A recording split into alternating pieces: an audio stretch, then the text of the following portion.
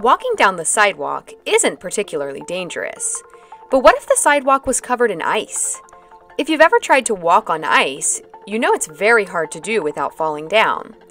Thousands of people are injured trying to walk and drive on ice every winter. What makes ice so slippery?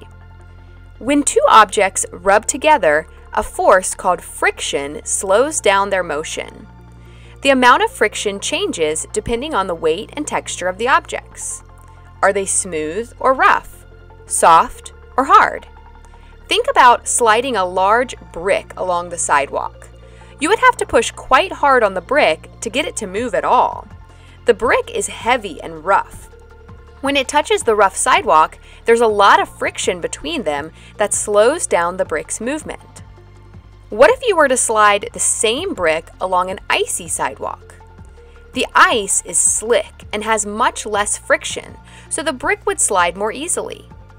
You may not have to push it very hard at all to send it sliding. Eventually, the brick will stop sliding, even on the ice, due to friction. The brick doesn't lose energy just because it stops, though. The kinetic energy, energy for motion, changes into heat energy. Friction is why our hands get warm when we rub them together, and how we can start a fire by rubbing two sticks together just right. Friction slows down motion and produces heat. Sometimes we want to reduce the amount of friction between two objects. For example, machines use grease and oil to reduce friction so that their parts don't get worn out from rubbing together. The wheels on a car reduce the friction between the heavy machine and the road by rolling instead of sliding.